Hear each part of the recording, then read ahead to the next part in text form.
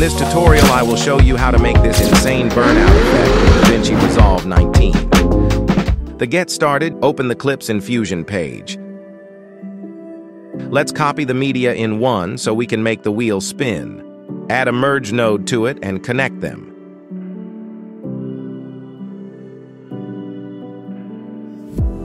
After that, add a polygon node and invert the mask. We will use this to mask out the rim so we can animate it. Go through the video and fix the mask so it stays in place. This will take time, but the better you do it, the cleaner the effect will look. Now you can invert the mask again.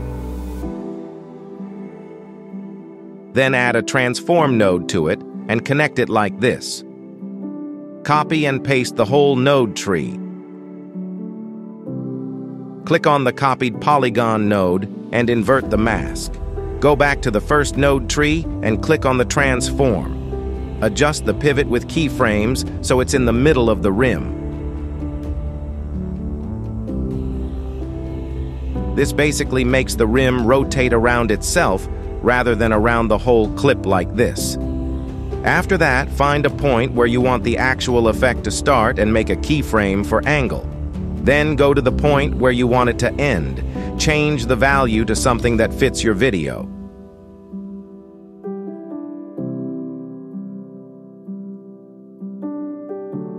Open the spline window, find angle, and make a graph similar to mine.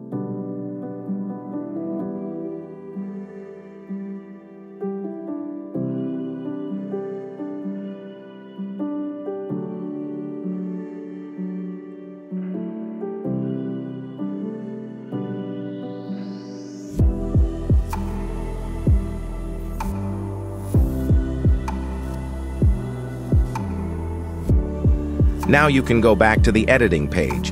Take your green screen footage of the smoke and drag it onto the timeline. Open it in Fusion page. Find Delta Keyer.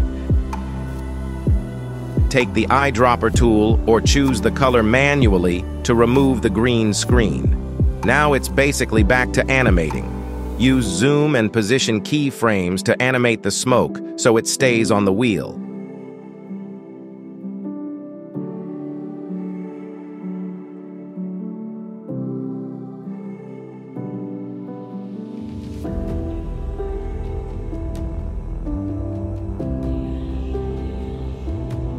I feel like the smoke is too slow. To fix this, simply click on Change Clip Speed and turn the value up.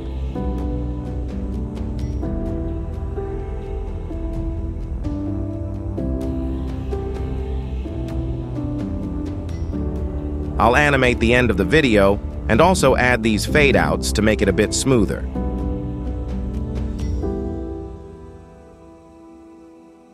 When you are satisfied with the smoke, go ahead and open the background clip in Fusion page.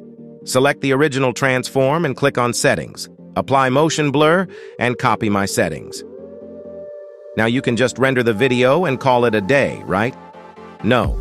If you want the effect to go harder, you should definitely add this shaking effect to it. First, combine the two clips into one new compound clip.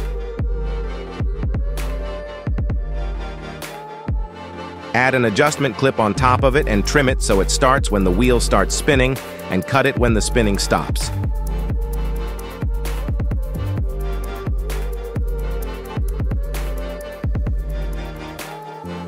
Go into Fusion page and find Camera Shake.